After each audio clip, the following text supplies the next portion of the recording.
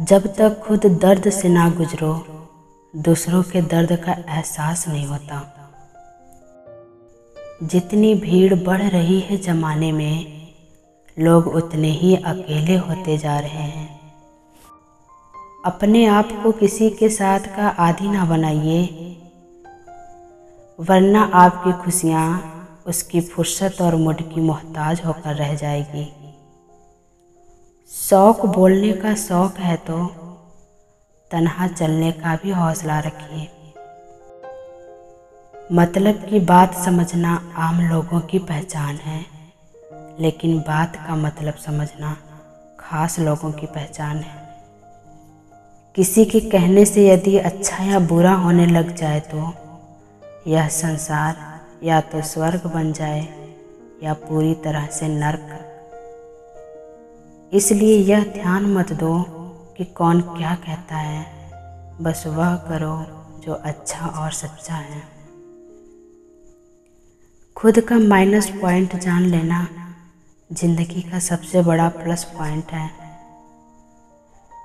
पीठ हमेशा मज़बूत रखनी चाहिए, क्योंकि शाबाशी और धोखा दोनों पीछे से ही मिलते हैं। चलने की कोशिश तो करो। दिशाएँ बहुत हैं। रास्तों पर बिखरे कांटों से ना डरो। आपके पास दुआएँ बहुत हैं। ज़िंदगी का सबसे खूबसूरत पौधा विश्वास होता है। जो ज़मीन पर नहीं, दिल में उगता है। दिल के रिश्ते तो किस्मत से बनते हैं, वरना मुलाकात तो रोज हज़ारों से होती है। छोड़ दो। किस्मत की लकीरों पर यकीन करना। जब जान से प्यारे लोग बदल सकते हैं तो किस्मत क्या चीज़ है?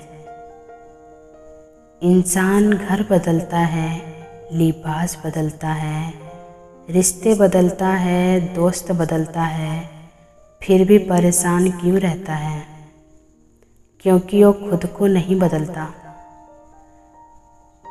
मिर्ज़ा गालिब ने कहा है उम्र भर गालिब यही भूल करता रहा। धूल चेहरे पर थी और आईना साफ़ करता रहा। अनुभव कहता है, खामोशियाँ ही बेहतर है। शब्दों से लोग रुठते बहुत हैं। ठुकरा दिया जिन्होंने मुझे मेरा वक्त देखकर। कसम खाता हूँ, ऐसा वक्त लाऊँगा कि मिलना पड़ेगा मुझसे वक्त लेकर। बदलना तय है हर चीज़ का इस संसार में। बस थोड़ा इंतज़ार करो, किसी का दिल बदलेगा तो किसी का दिन बदलेगा। जो रिश्ते गहरे होते हैं, अपनेपन का शोर नहीं मचाते। ईश्वर कहते हैं, तुम किसी का कुछ मत बिगाड़ना और मैं तुम्हारा कुछ भी नहीं बिगड़ने दूँगा।